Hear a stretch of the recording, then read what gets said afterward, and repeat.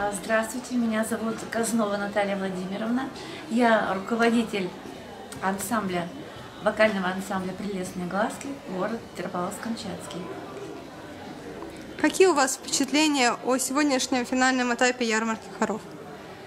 А, замеч- Замечательные, самые положительные, потому что собрались э, люди, единые по духу, по каким-то своим нравственным убеждениям, по стремлениям э, в жизни.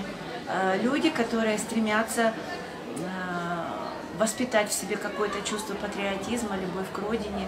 Ну, обыкновенные наши э, банальные слова, но они очень великие, большие, любовь к России. Любовь к православию, в конце концов. Уже Много лет руковожу э, детскими хорами и понимаю, насколько э, важно в репертуаре хора иметь те произведения, которые э, направлены именно на воспитание э, не только духовности и патриотизма, а огромной любви к нашей большой родине.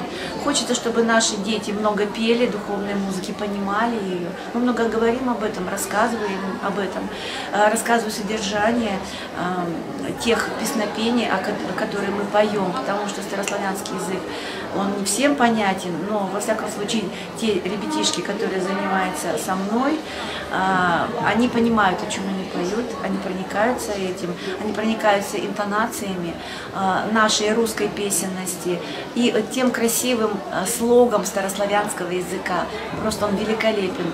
И они это начинают понимать, они начинают совершенно по-другому разговаривать, совершенно по-другому общаться.